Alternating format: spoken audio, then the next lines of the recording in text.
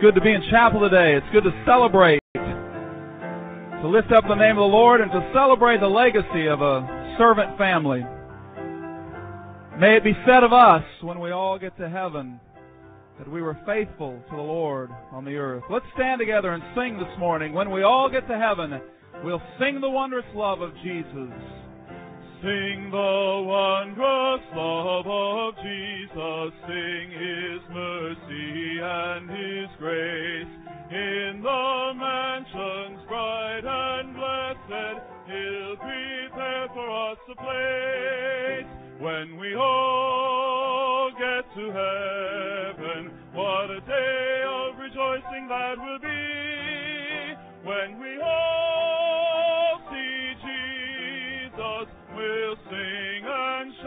victory. Let us then be true and faithful, trusting, serving every day. Just one glimpse of Him in glory will the toils of life repay. When we all get to heaven, what a day of rejoicing that will be. When we all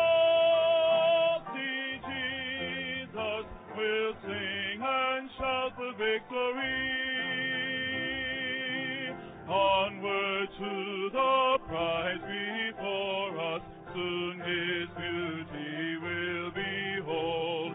Soon the pearly gates will open, we shall tread the streets of gold. When we all get to heaven, what a day of rejoicing that will be. When we all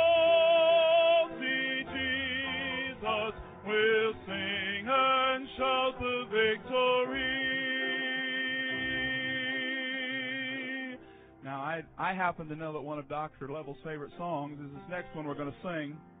So we're going to do it as a big gospel quartet this morning. Go ahead and flip the slide there so we Okay, so big gospel quartet. You know the parts, you sing out on this one, all right? Doc, you want to come and sing the melody with me? No, okay. So I wouldn't have done that when he was president before, but now he's. Uh, so let's let's sing it together. I'm kind of homesick for a country to which I've never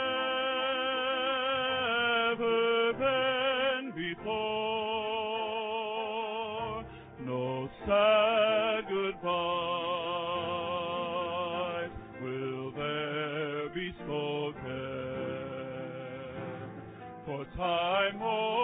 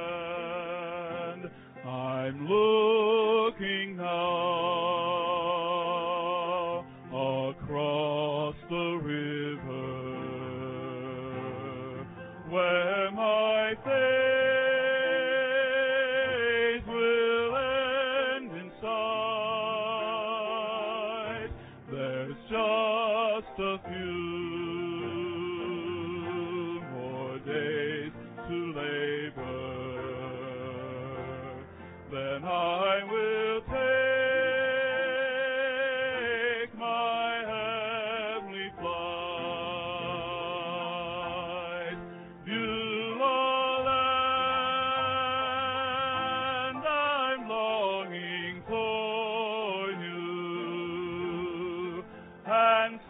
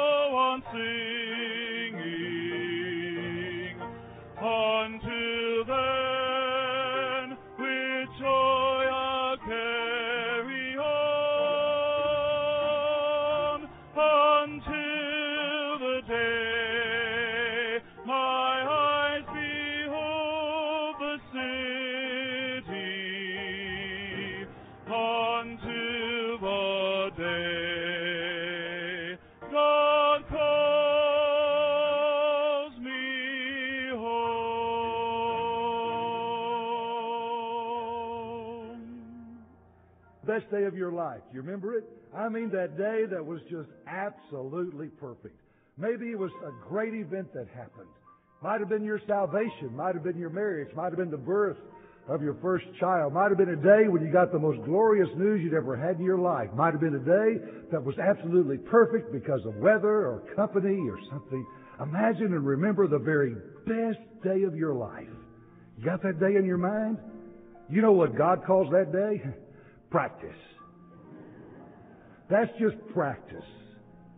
Because the very best day you've ever had in all of your life, you'll look back on as less than the worst day you'll ever spend in eternity. And those good days are practice for a glory we know is on the way. That's our hope. That's what makes every week something exciting. We know a better day is coming.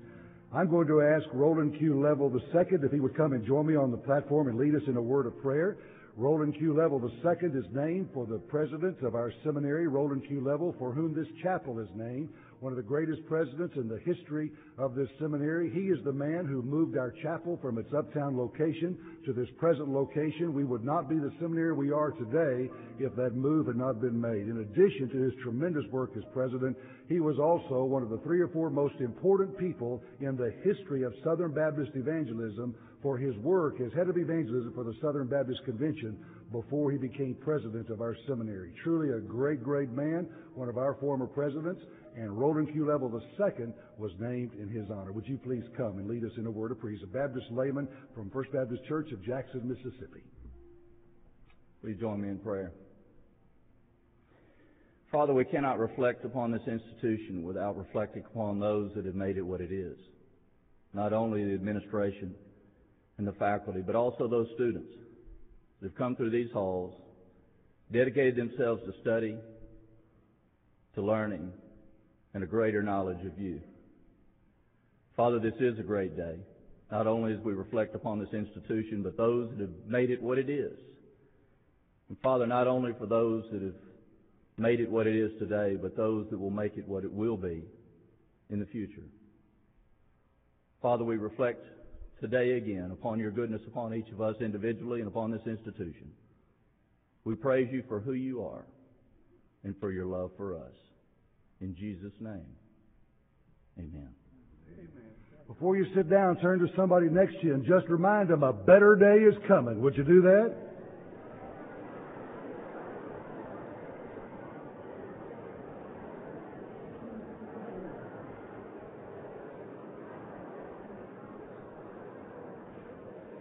Thank you so much.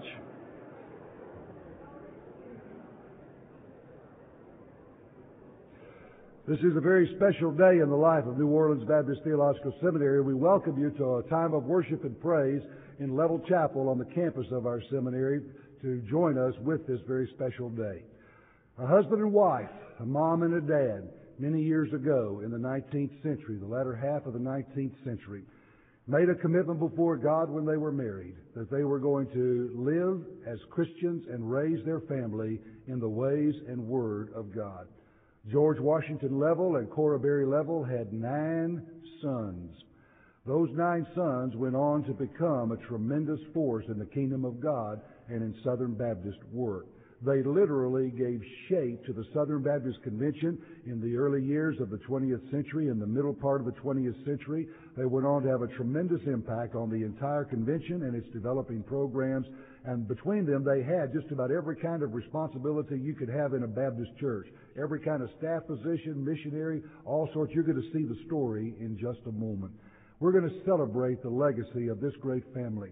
Our trustees, as we thought about the name for our College of Undergraduate Studies, and we thought about the mission of our College of Undergraduate Studies, our trustees made the determination that they wanted that college to be named Leavell College in, or, in honor of this wonderful Leavell family.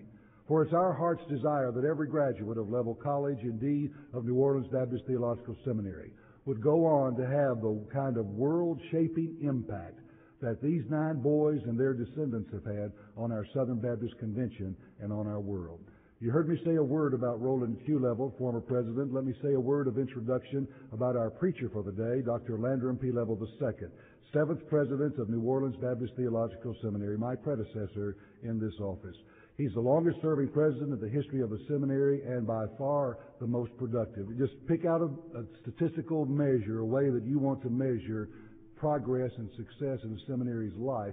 And when you look at the ministry of Dr. Landrum P. Leavell II, you will see he was far and away a home run hitter. Just to give you an idea of a few of the things that you are experiencing right now today that he's directly responsible for. He started our program of Extension Center education. Now we have Extension Centers located all over the southeastern United States, uh, teaching students day by day, week by week, year by year, who don't have to uproot their family and come here to campus. If that's not what God's calling them to do, they can do much of their work right there in Extension Center. About 45 to 48 percent of our enrollment are in those 16 plus Extension Centers located all over the southeastern United States. Dr. Leavell is responsible for our use of educational technology. He started us in a form of technology called compressed interactive video, so a class right here in New Orleans can be joined by a classroom in Atlanta or Miami or up to four different cities, and everybody talking back and forth, just like we are in this room, uh, just a piece of glass separating them uh, in addition to those miles. That was started under Dr. Leavell's watch. If you're here receiving scholarship aid, we had a greater growth in our scholarship endowment under Dr. Leavell's leadership than any other time in all of our school's history. If you're one of the families who are moving into our brand new student housing, uh, those four bedroom apartment buildings, you need to be very grateful to Dr. Leavell because we had virtually no endowment when he became president, and we went from virtually nothing to more than $25 million in endowment, and it was that endowment that helped us finance the building of those new apartment buildings. We were only able to do that because of his success and hard work at the fundraising end of it. He is, by any standard of measure, one of the great presidents in the history of this institution. But I think the very most precious gift that he gave our seminary is not all of the accomplishments that he had as president. I guess you could sum up the very best gift he gave our seminary, and I've thought of this so many times when I've looked around at other Southern Baptist entities. When Dr. Leavell retired and turned over the reins of the seminary for its next chapter, not only was it a healthy seminary, not only was it a growing seminary, Dr. Leavell turned over the reins in such a way that we never had to have a single fight about our past. We could focus all of our energy on the future. And in every respect, as we've been working on building that next chapter, building on the foundation that he and Roland Q and the other presidents established, as we've been working on that next chapter, in every respect, He's been very supportive and encouraging. I hope all of you have an opportunity, at least once in your life, to be able to follow a truly great man, because that has been my opportunity as president of New Orleans Seminary. This day is a very special day for several reasons. We're going to have the privilege of hearing Dr. Leavell preach, and I ask him just to open his Bible and let her rip give us a good old uh, gospel message and not uh, talk too much about the family because we're going to take care of that in another way. You're going to see a video presentation telling the story of the Leavell legacy in just a few moments. Uh, after the service is over, we're going to adjourn and go over to Hardin Student Center where we'll have a reception time set up. And let me translate that Greek for you students. Free food. We'll have a reception time set up uh, over in Hardin Student Center. Invite you to join us. You'll have an opportunity to meet members of the Leavell family uh, and Dr. Leavell and have a chance to get to know them a little bit. And then at 11:30, we're going to go upstairs to dedicate the Leavell Legacy Room, and that is, I guess you could call it a museum room, a heritage room that's been put together with various memorabilia from the story of this magnificent family and the impact they've had on the Southern Baptist Convention. And you'll be a part of our grand opening. We'll have a ribbon cutting, and then we'll go in to see that to allow all of our students and faculty to participate in this dedication. Today only, we're pushing back the start time for our 11:30 classes to 12 o'clock. All 11:30 classes will start at 12 o'clock, and we hope you'll be able to be a part of that dedication of the Leavell Legacy Room. As I have thought so many times through the years of my life about this wonderful family and the great impact they've made on me, I've been reminded again and again and again and again of how important your families are. And I hope and pray, ladies and gentlemen, as you are here preparing for ministry, that you understand one of the very important parts of your ministry is the time you are spending with that husband, with that wife, with those children, because you may find out that perhaps the greatest legacy of all is going to be not in what you do, but in what your children do. Before we see the video, let me just introduce to you, and I'll not ask them to stand, uh, but we'll just quickly introduce to you and let you know members of the Leavell family who've been able to join us uh, for this dedication time today. Landrum P. Leavell II, our preacher for the day, son of Leonard Leavell, President Emeritus of New Orleans Baptist Theological Seminary. Joanne P. Leavell, his wife, and daughter-in-law of Leonard Leavell. Landrum P. Leavell III, son of Landrum and Joanne and grandson of Leonard Leavell. David E. Leavell, son of Landrum and Joanne and grandson of Leonard Leavell. Ann Leavell Beecham, daughter of Landrum and Joanne and granddaughter of Leonard Leavell. Joanne Leavell Beecham, daughter of Anne, granddaughter of Landrum and Joanne and great granddaughter of Leonard Leavell. David Leavell Beecham, son of Anne, grandson of Landrum and Joanne, great grandson of Leonard. Andrew Leavell Beecham, son of Anne, grandson of Landrum and Joanne, great grandson of Leonard. Roland Q. Leavell II, son of Landrum and Joanne, grandson of Leonard. And Lisa Leavell, his wife of Roland Q. II, daughter-in-law of Landrum and Joanne. Roe Leavell, son of Roland Q. Leavell II and Lisa, grandson of Landrum and Joanne and great grandson of Leonard. Lucy Leavell, daughter of Roland Q. II and Lisa, granddaughter of Landrum and Joanne and great granddaughter of Leonard Leavell. Margaret Leavell Mann, sister of Landrum P. Leavell II and daughter of Leonard Leavell. Shuggy Collinsworth, daughter of Margaret Leavell Mann, granddaughter of Leonard. Eugene Tyre, friend of Margaret Mann, her pastor from First Baptist Church of Newnan, Georgia, and adjunct professor at New Orleans Baptist Seminary, the North Georgia campus. His wife, Margaret Tyre, also able to join us. Frank Leavell Jr., son of Frank Leavell Sr. and a retired professor from Baylor University. Barbara Leavell, wife of Frank Leavell Jr., daughter-in-law of Frank Sr. Dottie Leavell Hudson, daughter of Roland Q. Leavell.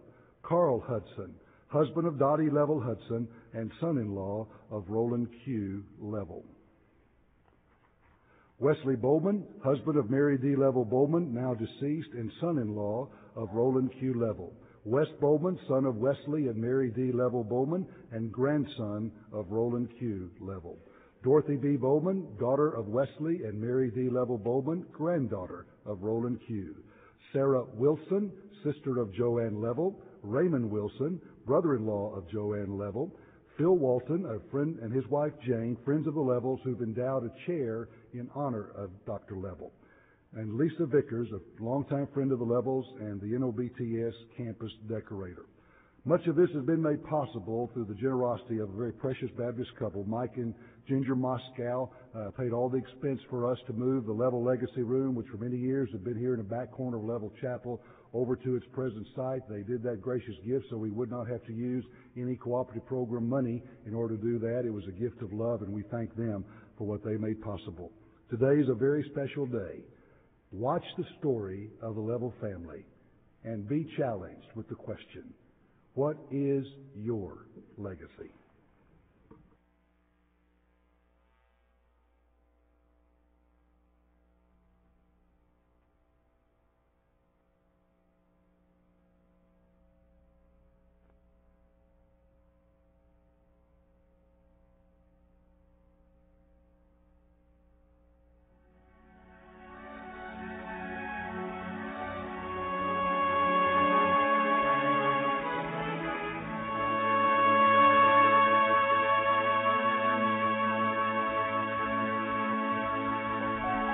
That friends who come to the Leavell Museum will come looking for the hand of God in the lives of some God called people, some godly people, and I particularly want you to focus on the grandmother and the grandfather of mine and the nine Leavell boys.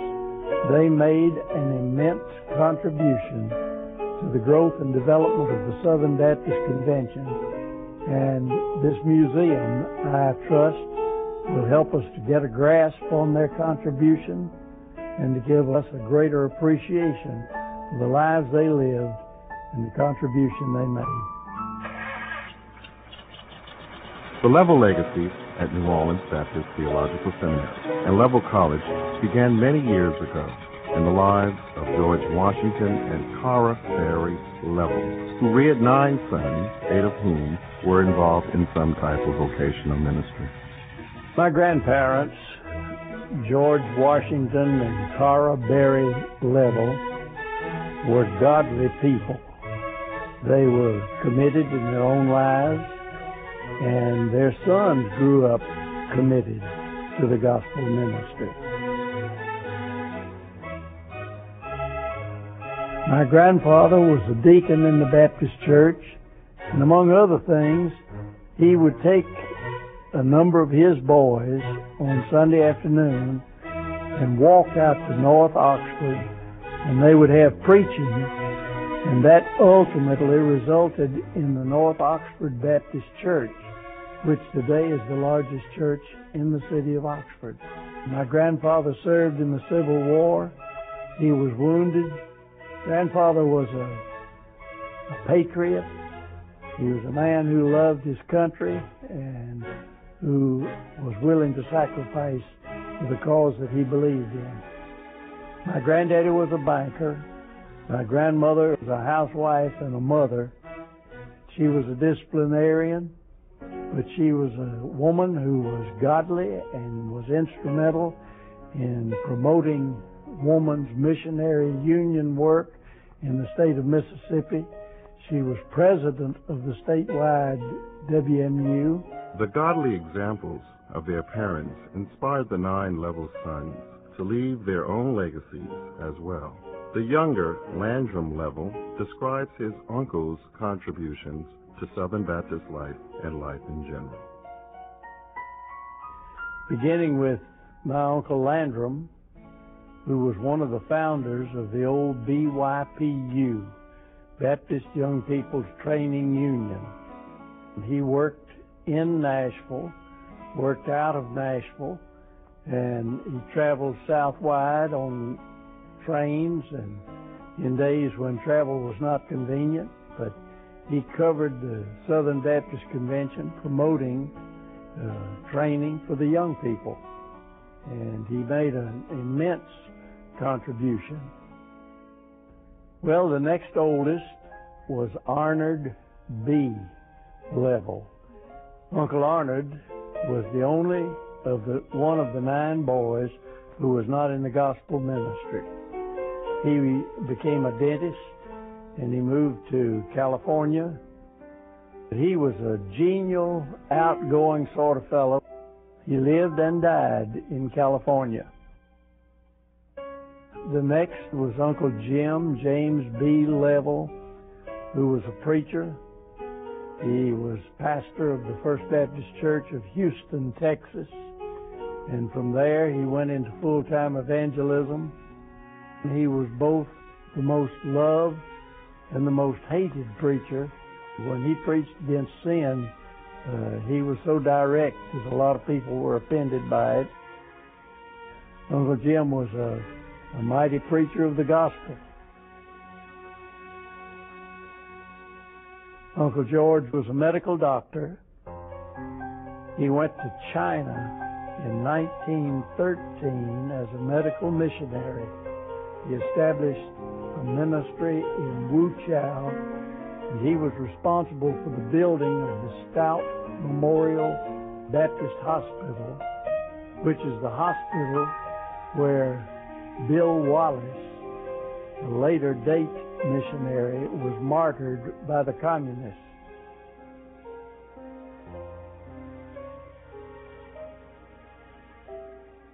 Uncle George worked in China among the people for 25 years, came back to the United States. He established his medical practice in Bristol, Virginia, and continued to serve as a medical doctor until his death. Uncle Frank is noted for his work with Baptist Student Union. He was the man who became the first Southwide director of the BSU. He lived in Nashville.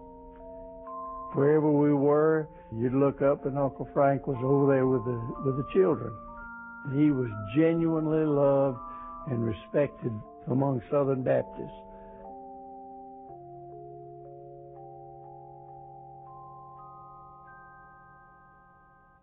The next one was my daddy, Leonard O. Leavell. Dad was pastor when I was born in Ripley, Tennessee. We moved from there to Leland, Mississippi. Then from there, he moved back to Louisville to become pastor of the Deer Park Baptist Church. We remained there for five years, and from there, we moved to Gadsden, Alabama, where Dad was pastor of the First Baptist Church. He was very active in denominational activities. He was chairman of the Alabama Executive Committee and on and on. We lived there for eight years and then moved to Newnan, Georgia. And that's where Dad was pastor when he had a stroke and retired and later died.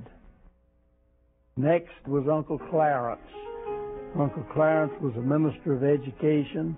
He served the First Baptist Church of Memphis, Tennessee for many years, had an outstanding, notable ministry there. In 1946, Roland Q. Leavell became the fourth president of New Orleans Baptist Theological Seminary. Under his leadership, the seminary relocated from its original Garden District location to its present location on Gentilly Boulevard.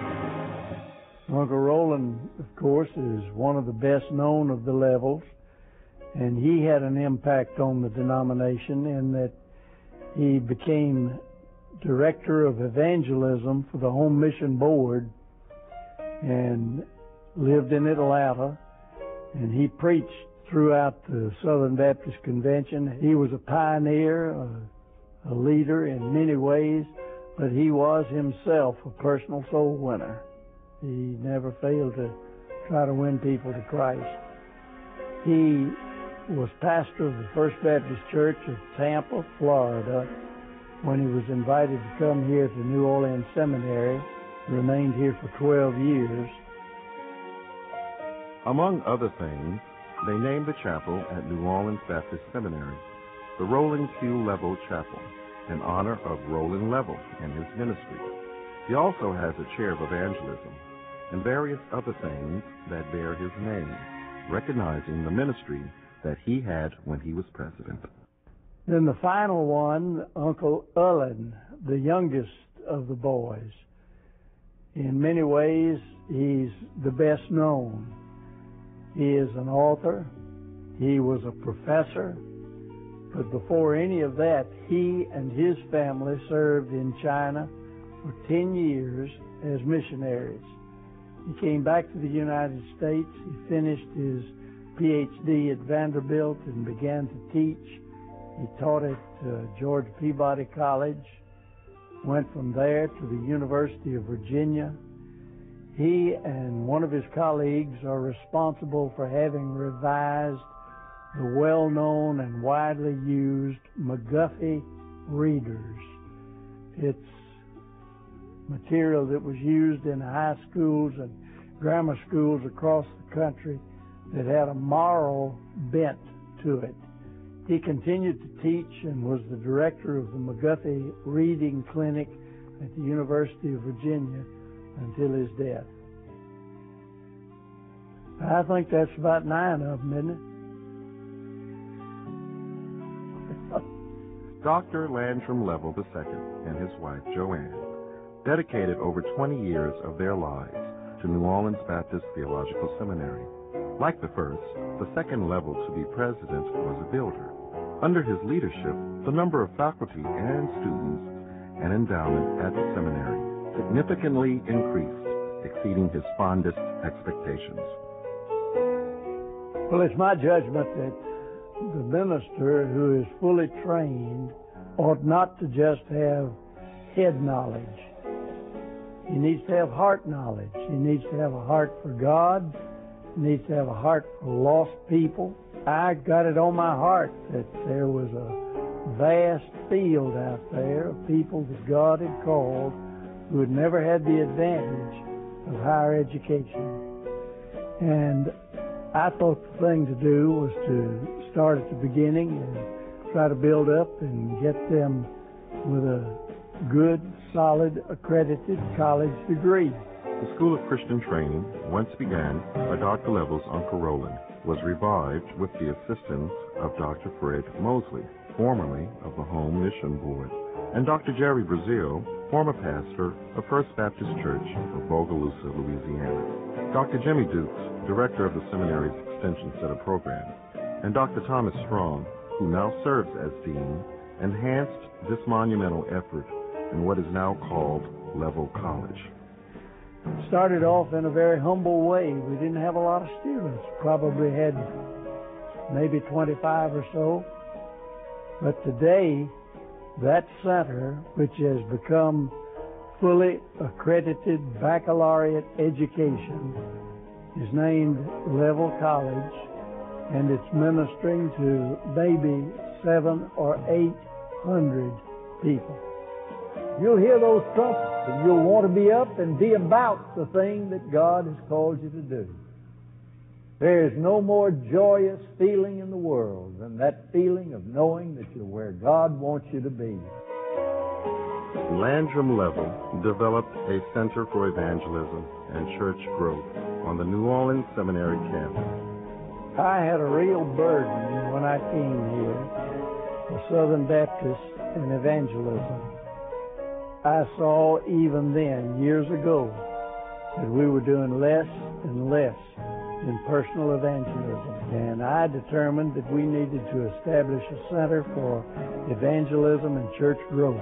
The Leavell Center for Evangelism and Church Growth was designed to help pastors and laymen focus their talents and their abilities on leading other people to Jesus Christ. I wanted an opportunity to express appreciation for God's gift of these dedicated servants for these 20 years of unprecedented growth and development in this seminary. Would you join me in just saying thank you to Dr. Leavells?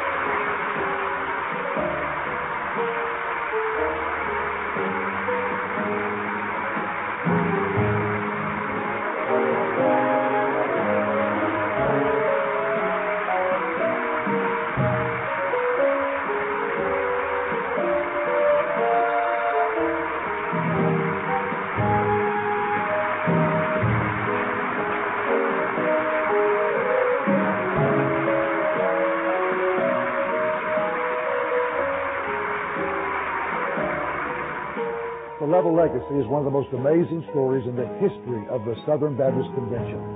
A godly husband and wife committing themselves before God to raise their nine boys in the ways of the Lord. Those nine boys went on to shape the future of the Southern Baptist Convention. The son of one of those nine boys went on to become one of the greatest presidents in the history of New Orleans Baptist Theological Seminary.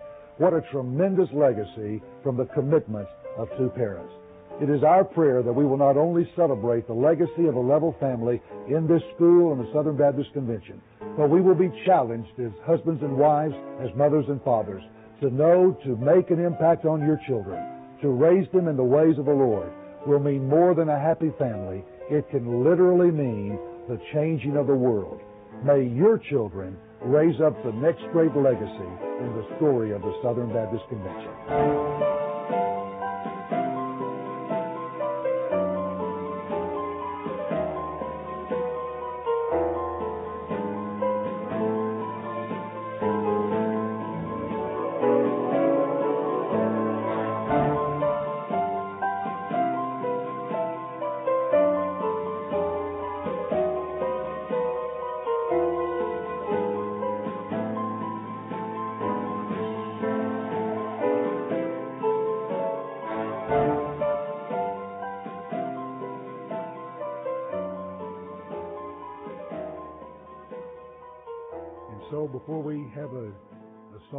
Worship from Lisa Leavell and hear the message from Dr. Leavell, let me sum all this up by saying to the members of the Leavell family who are assembled today, on behalf of the Southern Baptist Convention and on behalf of New Orleans Baptist Theological Seminary, we want to thank you for the harvest, rich harvest, you have brought God's kingdom through lives well lived.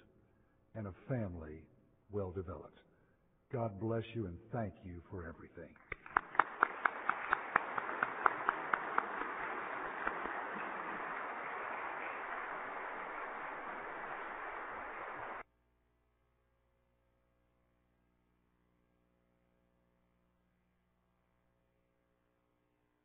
Y'all, I just married into that. Pretty overwhelming. Thank you so much for today.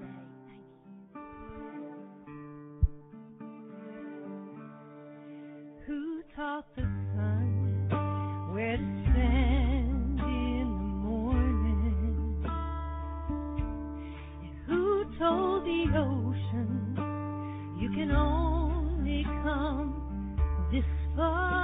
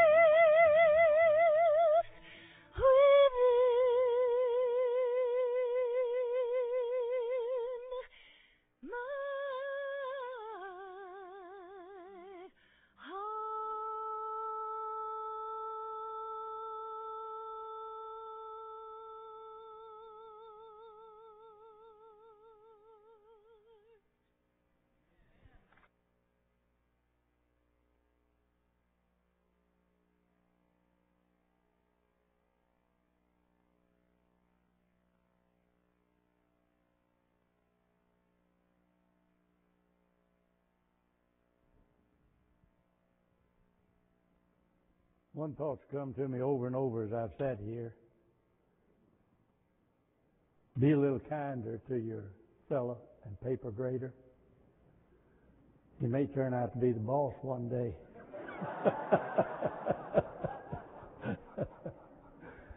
Chuck was very efficient in grading. I think he's a little too easy on some, but uh, other than that, uh, he did a great job for me, and I'm delighted that he's where he is.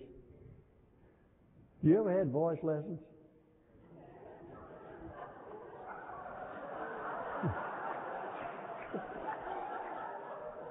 I was going to say, I got a lawyer friend over here, Don Richard. Get your money back.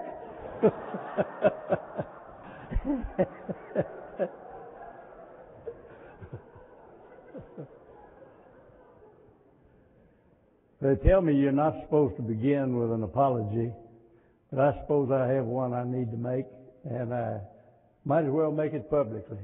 I was lukewarm about the movement of the Leavell room and the prayer room and so forth. You know what it means to be lukewarm. Jesus had something to say about that in the Revelation. You ask the average Christian on a scale of 1 to 10, where are you? Well, I'm about a 5. Ain't that lukewarm? Well, that's the way I was about to move, but I want to tell you, it has been a magnificent transformation, and the entire family joins me in deep gratitude for memorializing our forebears in the way that it has been done. Wonderful, wonderful thing to have done, and it is in a much more obvious and conspicuous place than it was back here. In fact, most of you didn't know it was back there. Uh, so, thank you, Dr. Kelly, and those associated with him who are responsible for this, and our little decorator friend, Lisa Vickers, sitting there. She's great. And you all have done a wonderful job. Now, I want to direct you to a couple of verses of Scripture found in the seventh chapter of the Gospel of John. These are verses 37 and 38. On the last day, that great day of the feast, Jesus stood and cried out, saying, If anyone thirsts, let him come to me and drink. He who believes in me, as the Scripture has said, out of his heart will flow the rivers of living water. My subject this morning is swimming in living water. Father, we thank Thee for Thy truth. Help us to make an application of it today that will stir our hearts and bring us into greater conformity with Thy will and purpose for us. Through Jesus Christ our Lord, we ask it. Amen. This text was recorded on the last day of the Feast of the Tabernacles. That was one of the great Jewish feasts, and it had particular significance for them, for on that occasion, at the Feast of the Tabernacles, they would pour out a double portion of water. They always poured out water at the feast, but a double portion of water to commemorate the gift of God to the children of Israel in the wilderness when they drank from the rock. That rock was provided miraculously and the water never ran dry. 1 Corinthians 4 or 10:4 tells us that Jesus Christ is that rock. You know as our Lord spoke the day that this was recorded, he might have been standing ankle deep in water. The incomprehensible truth that we find here is that he promised that if we drank from the water that he produced, that we would provide living water from our being. We can't sidestep that. We can't wish it would be taken away or that it didn't have any application for us. If you are providing, producing living water, then a little verse that I ran across recently has to do with you. Here it is. When you enter that beautiful city and the saved all around you appear, what joy when someone will tell you You invited me here. Living water produces that sort of result. It will mean increased numbers of individuals who will be coming into the kingdom through their faith in the Lord Jesus Christ and who will walk with Him throughout their days here on this earth. I spent 26 years at this seminary. Six years as a student and 20 years as an administrator. Now, I know that in this audience today, not a whole lot of you are going to be administrators, but most of you will be servants of the Lord and you'll be serving probably in local churches. And so it's from that background that I want to speak today, not the background of an administrator, but the background of a local church pastor. I expect the starting place is if we're to produce that living water, it all begins with a passion. I'm sure some of you might say, well, what in the world are you talking about? Have you ever felt that your prayers weren't being answered, that God just wasn't listening, and that things weren't going the way they should?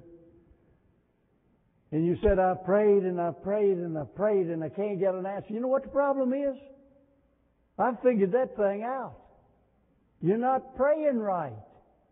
When you pray in the will of God, the answer will come.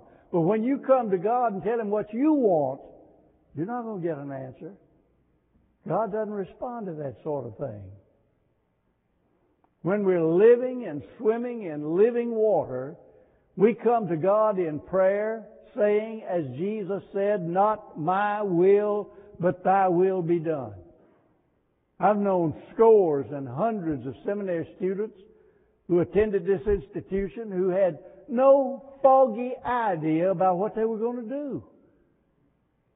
What they were studying for, what they wanted to be. I've heard a lot of them tell me what they didn't want to be, but I haven't uh, heard some of them ever say what they did want to be. Let me tell you something. Tell you how you can Get God's call clarified in your own mind. Find a need. And that goes for those of you who are seminary students who drag around here and never identify with a local church and never accept responsibilities in a local church. You don't know anything about the need. Get involved and find out what the need is. And then when you get a passion for that need, you don't have to pray about it. That's God's answer. That's what He intended for you to do. But you have to bring your life in sync with Almighty God. If you have a passion, I would say the first step that you take is to look up. That's job one. By that I mean, make a daily commitment to what God has called you to do. Don't neglect your quiet time.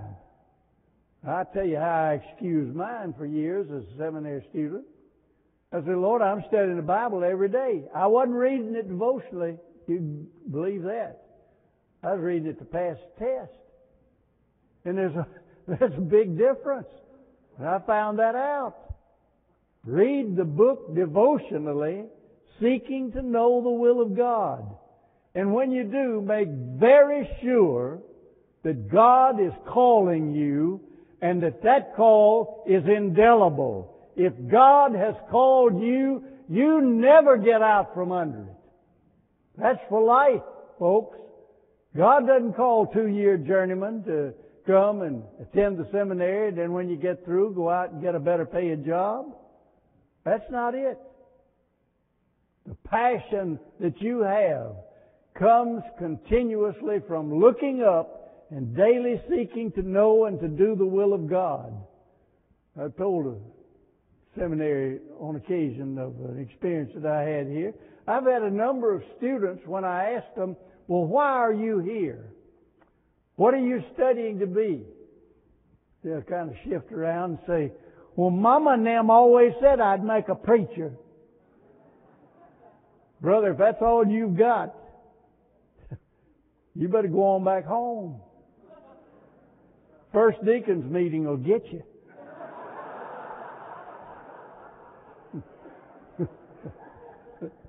Mama and them won't be around. But if your call is not clear and passionate where you feel in your soul there's something you've got to do in response to the call of God, then step back and let somebody else take your place. You're occupying space here that some God called person would like to occupy. I think a lot of times some students just like Christopher Columbus. Christopher Columbus went out, didn't know where he was going. When he got there, he didn't know where he was. When he got home, he didn't know where he'd been.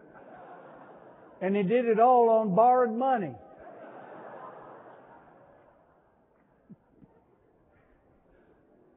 I heard two preachers talking one day about a third preacher, and one of them said to the other one, said, You know, said that guy may love Jesus, but he hates people. Friend, you don't love Jesus if you hate people. That just isn't, isn't a possibility. Look up. That's part of your passion. And then the, another part of it is look back. What do you have or what do you know that a hell-bound world needs? That's the question you've got to answer every day. What is it God has given me that I need to share with a world on its way to a devil's hell? Look back and remember what it is that God has endowed you with. What do you know for sure? My dad told me something when I was just starting out. He said, son, never preach your doubts. He said, if you don't know but one thing for sure, preach that. But don't preach your doubts. Yeah, you'll have doubts along the way. And you'll read some author that'll make you question everything you stand for and everything you believe. What do you do then? Quit reading that stuff. Read the Bible. There's enough in there to keep all of us busy. Preach the Word. And what is the Word of God? Let me tell you very succinctly. There is one Lord. Not many. One Lord. There is one faith. Not many. There is one baptism. Now there's a widespread lie going around that has duped thousands and thousands and even millions of people. And that is that the God of Abraham, Isaac, and Jacob, who is the Father of the Lord Jesus Christ, is the God of the Muslims and the Jews and all of the other religions. Not so. That doesn't square with the Word of God. And if you have some other authority, then you need to get out of the seminary and live by the other authority. But if the Bible is your authority, there is one Lord. Now I know it may be in the category of political correctness for you to supposed to be broad-minded about things like this. But don't be so desirous of being a men pleaser that you deny the basics of the Christian faith.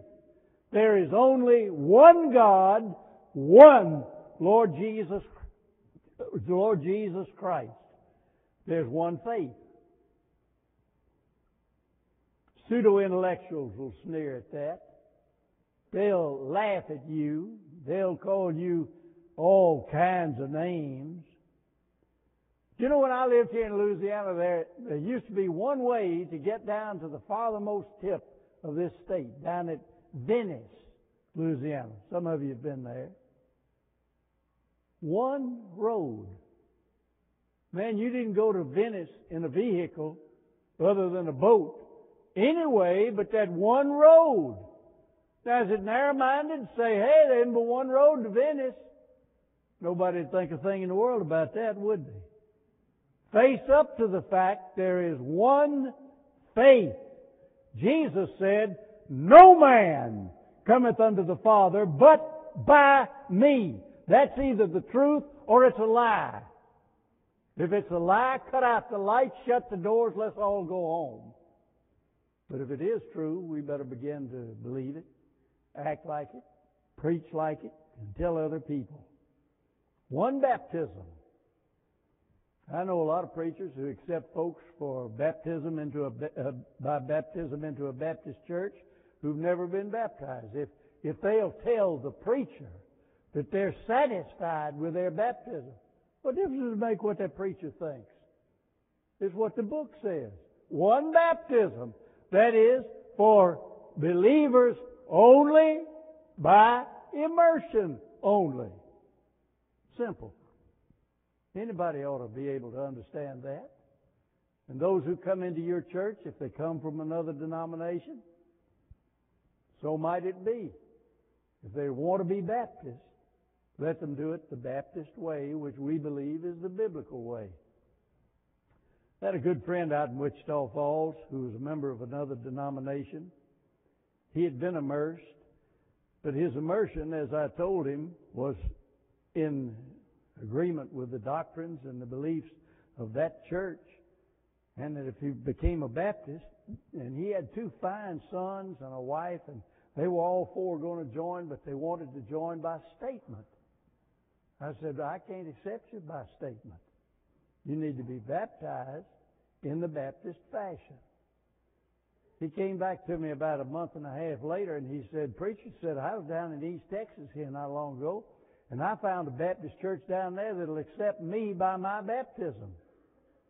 I said, Well, go ahead and join that one. You're not going to join this one. And he didn't. But then they organized a new Baptist church in Wichita Falls, and they had let the bars down, so we became part of that one. What do you believe? If you don't have any conviction about these things, then maybe you're on the wrong track. I know a church not too far from here that accepted a person from another denomination without baptism and told the church, coming by statement. Is that the reason we're in the mess we're in today? Most Baptists don't have the foggiest notion about what we believe and what we stand for. And that'll get you in trouble every time. And that's the reason you got people going in every different direction. We're not united as we ought to be because we unite around our common beliefs in the Bible, in the Word of God. Don't get so hard up for a new member that you'll take somebody on the basis of what he's satisfied with. My ordination sermon was preached by a Baptist preacher named Jim Middleton. He was a friend of the family. He and my daddy were good friends across the years. He was pastor of First Baptist Atlanta and then later pastor of First Baptist Church Shreveport. I think that's significant. Because when he preached my ordination sermon, he took the time to write in the front of the Bible some words of advice. And the words that he underscored were, preach the Word. Not what you think, not what you've heard other people say, not what some egghead has written. Preach the Word. It can stand on its own. Well, you say, you know, it's a rat race out here and we got to do so and so and so and so and we're not going to get these new, younger people into our church unless we do. If you're in the rat race, just remind yourself, no matter if you win, you're still a rat.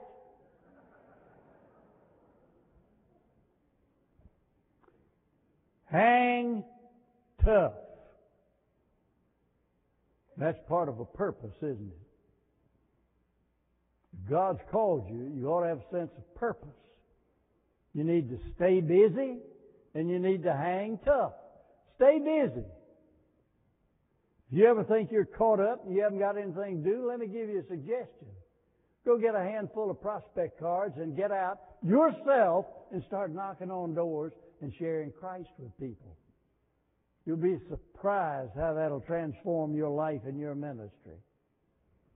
Any God called preacher or minister who is not a soul winner is an oxymoron. Write that in your book and you can take it home and attribute it to me.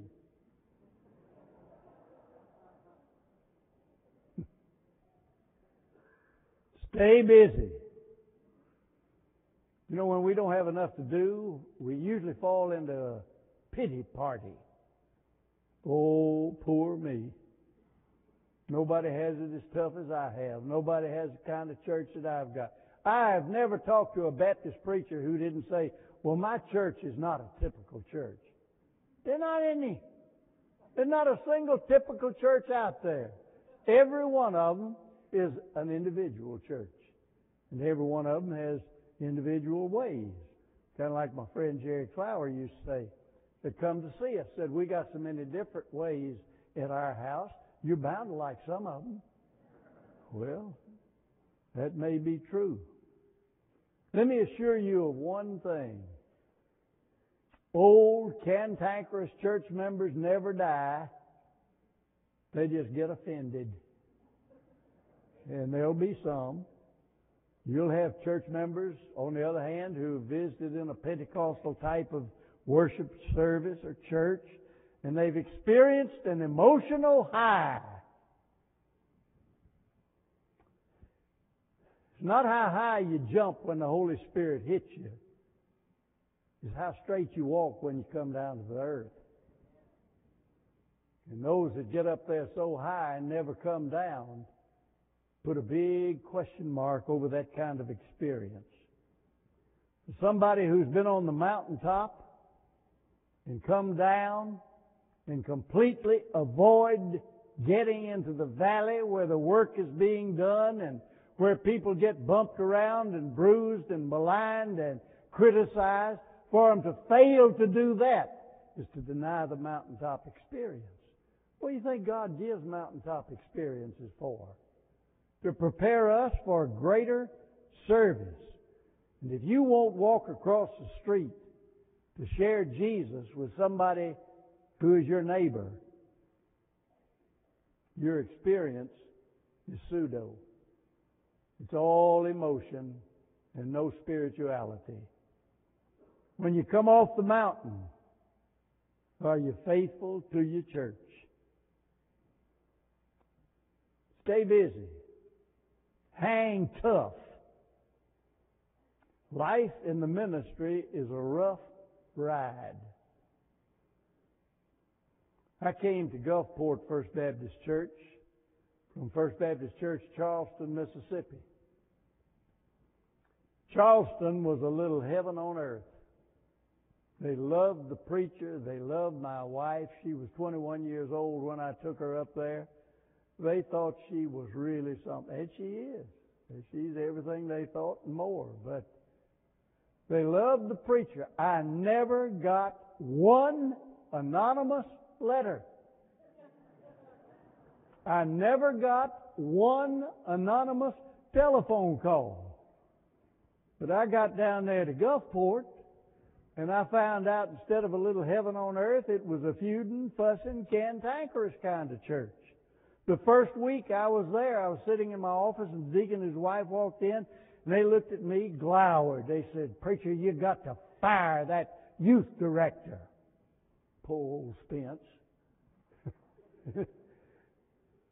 the next day, another deacon and his wife came in my office and they said, You got to fire that church organist. There went Sylvia Green, they thought. And the next Sunday I got in the pulpit and I said, Hey folks, I said, we need to come to an understanding here. I didn't hire any of these people, and I'm not firing them. If you want them fired, that's your job. But they just, a lot of them look for something to fuss. Anonymous letters? Yeah, I got them. They call me everything but a Christian. I got a phone call one night from the governor of the state of Mississippi who threatened to skin me from one end, one end of the state to the other. You know that sap sucker was blind as a bat? He was the only person in the state of Mississippi that didn't know that legal, uh, illegal gambling and illegal liquor were being sold on the strip between Gulfport and Biloxi. Everybody else knew it, but he didn't. And I happened to mention that in a sermon. Oh, oh, oh, oh, oh. I learned some things with that. But I learned if you fight sin, you're going to have problems. There's no doubt about it. I remember the first deacons meeting I attended in Gulfport. You know what time we left and went home? 10:30 p.m. Started at 7. What did we talk about? Nobody knows. Just oh. Joanne asked me one day, said, honey, how long you going to put up with this? I said, from now on, I reckon. I said, this is where the Lord led me, and I'm going to try to hang in there with it. I said, you know, it seems to me it's kind of like riding a bucking bronco. I said, I don't doubt that I can stay in the saddle, but I never can relax. now, the pastor of the First Baptist Church of Gulfport is here today. And he's got at least two of his deacons and their wives who are here today. And I am sure that they would say, you know, I remember that. I remember most all of it. But eventually, things began to smooth out. The church came together, and we appointed a building committee. And after I had gone to Texas, they built a magnificent new building. That took unity and it took cohesion. Jesus promised his followers three things. He promised that we would be entirely fearless. He promised that we would be absurdly happy. And he promised that we're going to get in trouble. Now, friend, if you're not ready for it, you better back off and take another look at your call. That's the way it is. There's one other word, and that's the word persistence. Work hard. Stay after it. One of the finest things any church member can say about you is, that's a hard working preacher. Why not? The people who pay your salary work hard, and they expect you to. And if you're not ready to give them full time, then maybe you'd be better off in daddy's business back home. There is no such thing as a 40 hour week in a growing church. It just doesn't come that way. You've got to put in the hours. You've got to work hard. But don't lose your family in that process. I had a seminary classmate who said that he had never taken a vacation for 15 years. And then he added, well, Satan never takes a vacation either. Well, I've got an answer for him. I couldn't think of it at the time, but the answer is Satan is not your example. Jesus took time out. He went out into the wilderness all by himself to catch up and to take time to zero back in on the purpose that God had given him. Work hard don't quit. God's call to you is a call for life and make your plans accordingly. Don't be looking around. Don't be wondering how much money you could make if you left the ministry and went here, went there. You can make more money out there. No doubt about that. But that's not what God's called you to do. There's a lot more money in a lot of other vocations. But shape up. That's physical, but more important, that's a spiritual exercise. If you stay warm and ready through your commitment to the Lord's Word and through prayer, and if your heart's in tune with Him, I can guarantee you, you'll be shaping up. I read this some time ago. It's been a good while. It's called Anyway Faith. You probably have seen it. People are unreasonable, illogical, and self-centered. Love them anyway. You're successful, you'll win false friends and true enemies. succeed anyway. If you do good, people accuse you of selfish, ulterior motives. Do good anyway. Honesty and frankness will make you vulnerable. Be honest and be frank anyway. The biggest people with the biggest ideas can be shut down by the smallest people with the smallest mind. Think big anyhow. People favor the underdogs, but they follow only the top dogs. Fight for some underdogs anyway.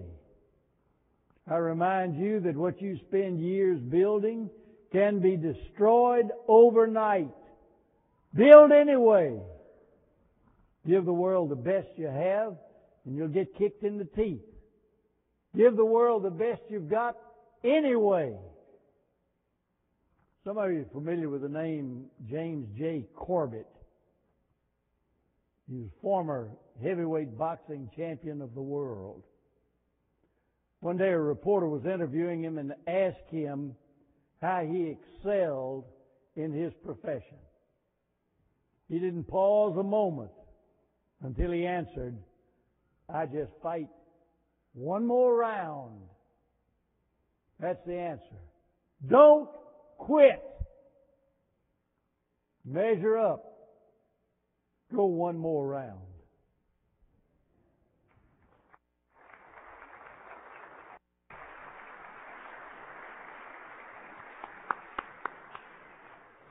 Thank you, Dr. Leavell. Before we have our closing prayer, we're going to ask Dr. and Ms. Leavell and the Leavell family if you would slip on out our back door and meet us over there in Leavell, excuse me, in Hardin Student Center for the dedication of our Leavell Legacy Room. We'll invite all the Leavells to just come right on out either side here and we will get you over there, give you a head start. I know what it's like when these students start heading for receptions. We don't want any injuries.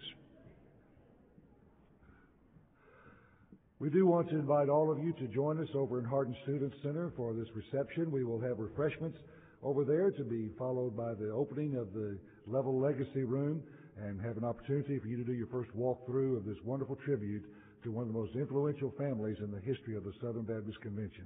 It's a most unusual story. Mr. Clay Corbin, Clay, are you here? You're scheduled to do our closing prayer. Come on up as you can. Again, our class schedule will be 12 o'clock, no earlier than 12 o'clock, and if we have to make it a little bit later, we'll announce it at the Leavell center, but we'll plan on classes beginning at 12 o'clock. We'll see you all over at the Hardin Student Center following our closing time of prayer. I hope you'll make an opportunity to meet as many of these Leavells as you can. We'll probably not have that many of them ever gathered together in one spot in the history of the world. This is the opportunity. Uh, as we're calling on Clay to pray, I'd like to ask another couple to stand and let us say thank you to. Mike and Ginger Moscow will kill me later, but uh, Mike and Ginger, would you please stand? Mr. Moscow is the one who's built our new student housing apartments back there for you.